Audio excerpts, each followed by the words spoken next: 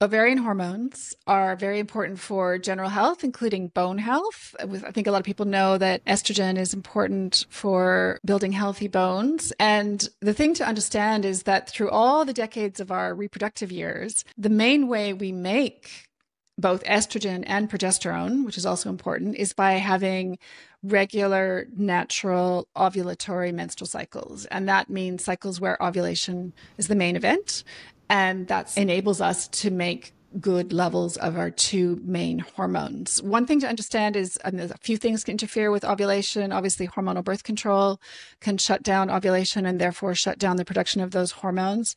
But also, it's not uncommon to have um, what are called anovulatory cycles, where you're still maybe having a somewhat regular bleed, but are not actually ovulating with every cycle. And that can result in lower levels of estradiol and progesterone and therefore sort of negative long-term outcomes on things like bone health. And one of the best ways to tell if you're ovulating regularly with your cycles is to track temperatures. Knowing if and when you ovulate is called body literacy, which is something that's growing in importance. People are starting to understand that a bit more.